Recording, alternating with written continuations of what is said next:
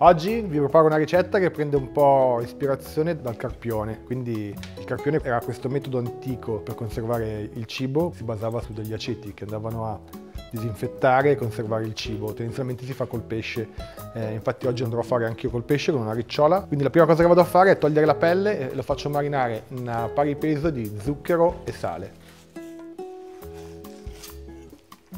Prendo una placca, sale e zucchero di canna, va bene anche lo zucchero normale, faccio un primo strato, posiziono il filetto di ricciola e faccio la stessa cosa in superficie. Questa la lasciamo marinare per una ventina di minuti, dopodiché ovviamente andiamo a sciacquarla e andrò a tagliare per procedere con il piatto. Nel frattempo cipollotto, tiro via ovviamente la parte esterna, vado a tagliare in questo modo lo faccio marinare per una decina di minuti semplicemente in aceto di mele. Una volta marinata ovviamente la sciacquiamo, la asciughiamo per bene.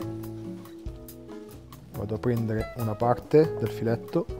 Vado a tagliare dei pezzi piuttosto spessi.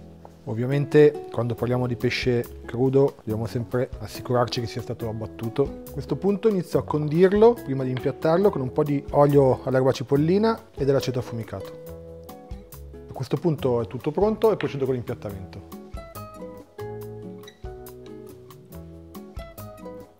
Una volta posizionato il pesce andiamo a bagnare con ulteriore aceto affumicato, aggiungiamo la cipolla marinata, aggiungiamo del passion fruit essiccato, del peperoncino,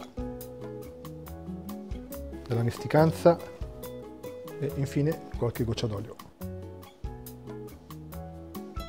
Ed ecco qui, un carpione rivisitato, provateci, alla prossima, buon appetito!